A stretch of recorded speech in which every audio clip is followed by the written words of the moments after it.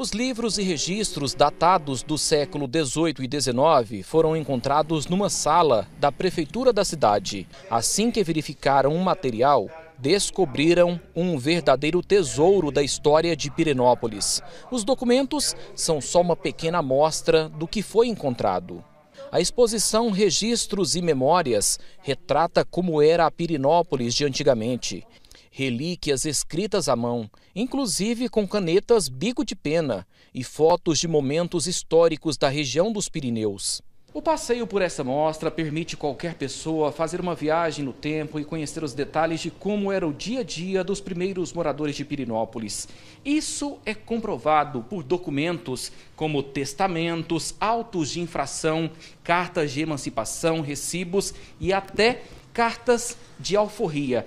Essa aqui, por exemplo, é da escrava Teresa. O documento tem cerca de 40 páginas e narra uma história bonita e ao mesmo tempo triste de liberdade.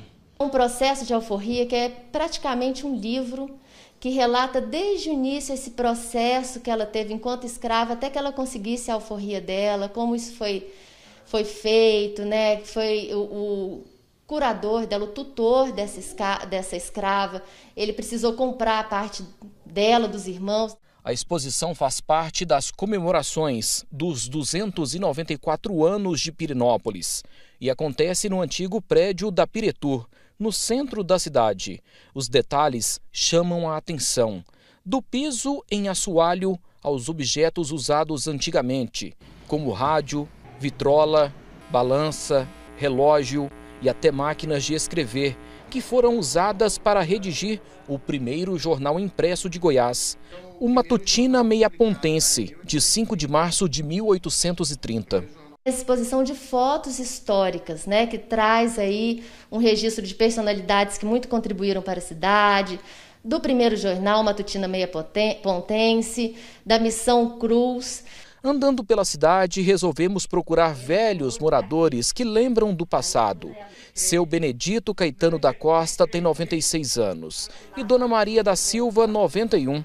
Casados há 73 anos, eles contam algumas curiosidades de como era o trabalho na região na década de 1940.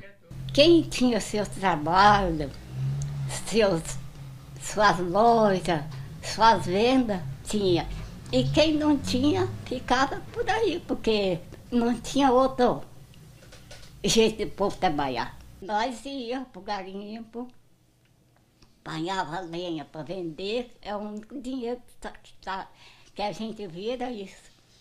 E aí, quando eu fui ficando maiorzinha, aí já apareceu das vezes empregar nas casas para ser babá de criança, entendeu? Tinha uma cozinheira. Aí já cresci assim.